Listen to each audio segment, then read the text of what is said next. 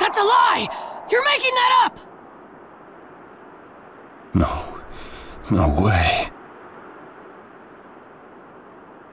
It's not falsehood. That is the truth about Itachi. He died for Sasuke and for the leaf. It doesn't make sense. If what you say is true and Sasuke knows it, why doesn't he come back to the leaf? As Sasuke's teacher, you assume you know his true feelings, but you couldn't be more in the dark. He's the real thing. A true Avenger. But I don't get it. Why? Why would he? How did it turn into this much of a mess? Why did he choose revenge? It couldn't be helped. It is the blood-soaked Uchiha destiny of hate. A curse of hatred that began with the father of ninja, the sage of the six paths. Hatred? Curse? Once upon a time, the sage of the six paths had two children. They trained together and grew up together, but they had two different attitudes toward peace. The older son knew strength was necessary for peace. The younger son knew love was necessary for peace.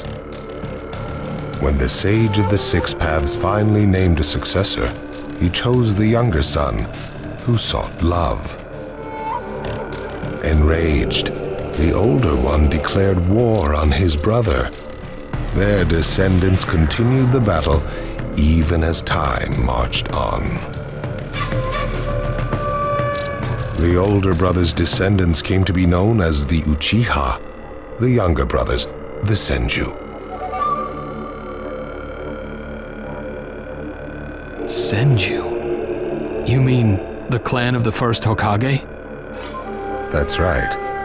I have met Hashirama Senju, the first Hokage, and battled many, many times.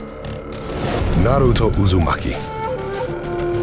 I can tell that you hold Senju's will of fire within you. Senju and Uchiha, will of fire and hatred. Naruto and Sasuke. You are just the next in line to be chosen by destiny. Sasuke has shouldered the entire burden of Uchiha hatred and plans to ram that curse of hatred deep into the world. That hate is his strongest weapon, his friend, and the true source of his power. That is Sasuke's ninja way. You will probably end up fighting Sasuke again one day. Or rather, I'll throw Sasuke at you. This long, predestined battle, I will have Sasuke prove his heritage as an Uchiha. Sasuke is not your toy! Quit talking nonsense! If your goal really is that foolish proof, then why collect the tailed beasts? What's your true objective? Well, if I were forced to choose, it would probably be to become a complete form. What do you mean? Telling you now would be somewhat meaningless. I'll tell you under more fitting circumstances. It was fun chatting with you folks. Later.